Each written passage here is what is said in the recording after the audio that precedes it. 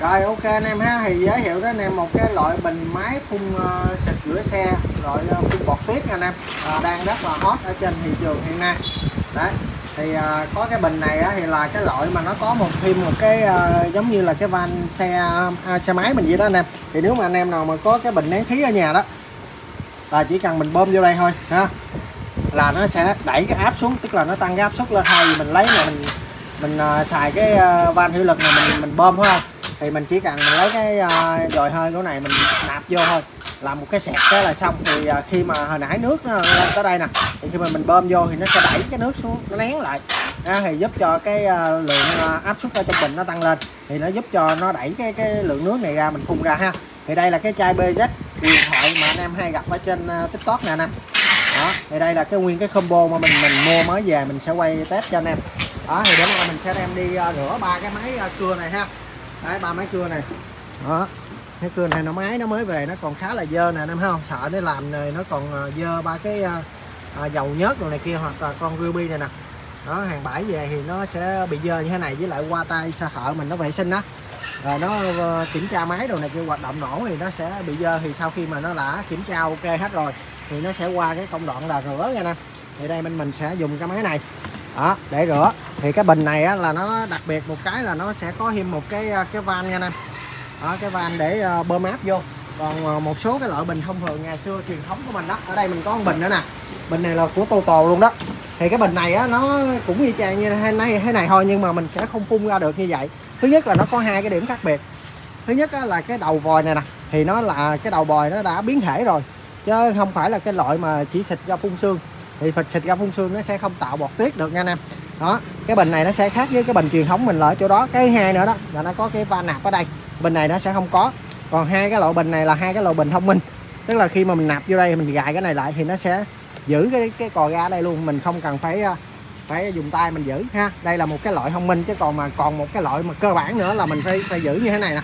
Thì nó nạp rất là rất là lâu. Rồi, bây giờ mình sẽ nạp thử cho anh em ha đây là mình đã nạp bằng hơi rồi nên là bây giờ đẩy bằng tay nó cũng rất là cứng luôn không nổi đâu.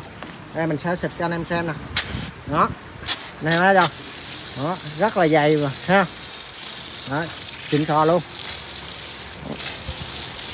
Mình sẽ xịt đầy luôn. Giống như là rửa máy không chạm nha anh em. Đó, bây giờ là rửa máy không cần chạm luôn. Đó, này cũng vậy luôn.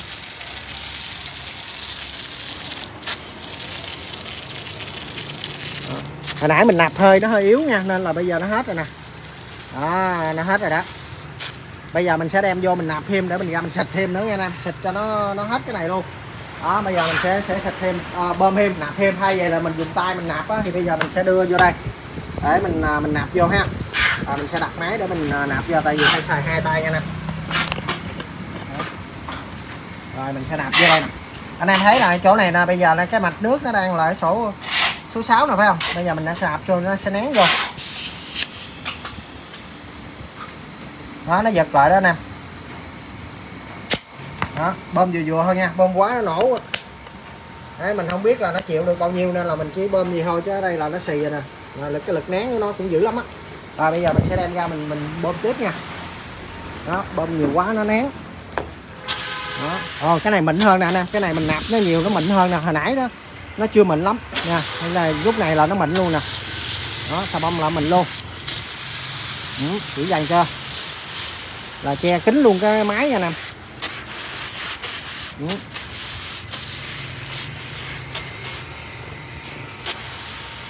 cái này là cái dòi nó xịt ngang nha. Nó có chắc là có cái loại mà nó xịt dọc nữa. Xịt ngang này thì ờ, uh, thích hợp với anh em sửa rửa xe máy hoặc là ô tô.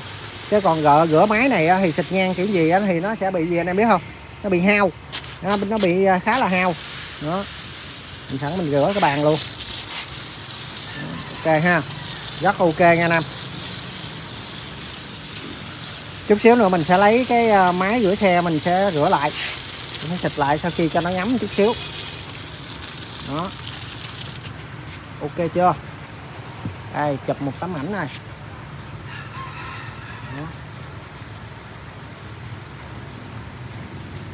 Quá xịn sò rồi mình sẽ đợi nó chút xíu mình sẽ lôi dây ra mình à, rửa nó nghe anh em coi nó sạch như thế nào. Sau khi để tầm khoảng 3 phút thôi nghe anh em. À, 3 phút cho không tới 5 phút nữa thì mấy cái bọt nó bắt đầu nó tan ra nè. Đó ở đây là bên mình không chạm nha. Hay tức là hai gì bình thường mình sẽ lấy mấy cái miếng cước mà giống như của ờ, vợ vợ ở nhà mình ờ, nó rửa chén đó anh em. Mình rửa còn cái này mình sẽ không chạm mình thử nó nó sẽ sạch như thế nào nha bây giờ mình sẽ dùng cái máy máy xịt này mình xịt nó ha Đấy. coi nó như thế nào nha